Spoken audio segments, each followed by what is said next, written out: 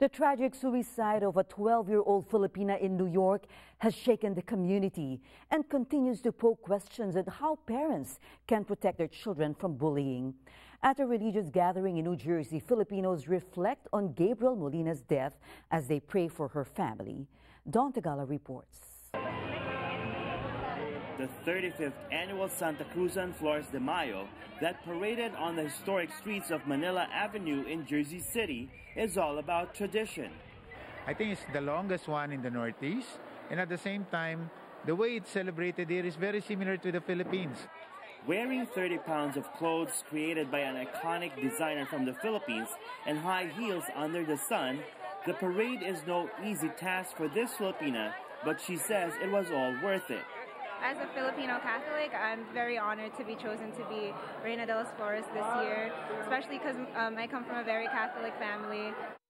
But the tragic suicide of a bullied 12 year old kababayan in Queens Village has added a somber tone to this religious festivity that honors Christ's mother.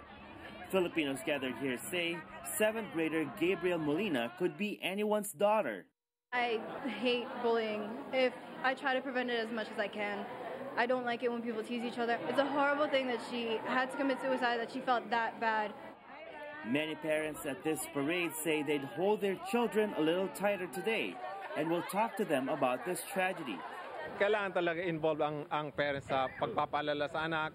At the same time, if they, should bring it out to the authorities, proper authorities, and to the school administrators. Maging mulat ka sa katotohanan na talagang dito sa ibang bansa o sa Amerika kung saan man, eh, iba ang pamumuhay kaysa atin. Kailangan meron kayong family time eh. Hindi yung may problema na pala anak mo, hindi mo pa alam.